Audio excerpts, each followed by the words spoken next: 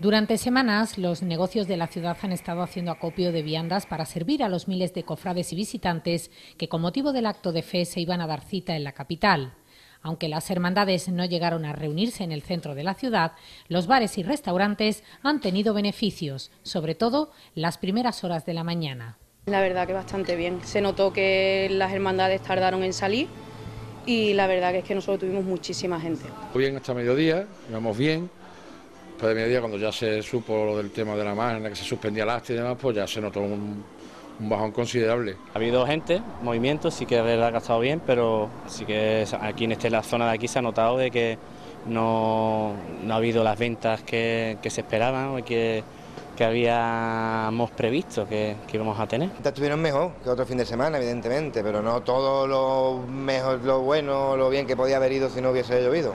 Como a la mayoría de estos establecimientos se les ha sobrado mercancía, tendrán que buscar alguna solución. Otras cosas las puedo mantener, otras cosas las intentaré devolver y el resto las tendré que comer. Con lo que nos hemos vendido, evidentemente habrá, habrá mm, productos perecederos que se tendrán que devolver y habrá otros productos que si no nos podemos quedar y sacarlo, pues nos, nos quedamos evidentemente, eso no tenemos que dar.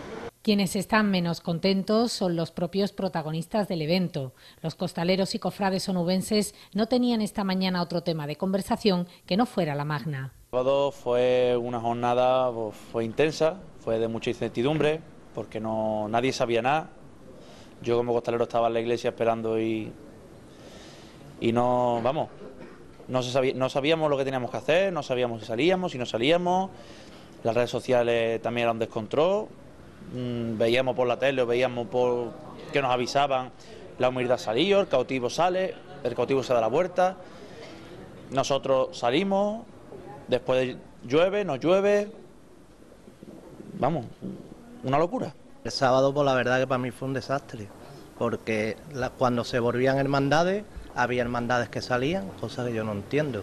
Yo estaba en la Concepción esperando a ver si, si salíamos o no. Yo sabía que ya se había suspendido, pero como oficialmente nadie decía nada, allí estuve hasta las 7 que me fui para casa, aburrido. Después de dos días, todo el mundo recuerda el sábado con tristeza por los momentos de incertidumbre que se vivieron en el interior de las iglesias.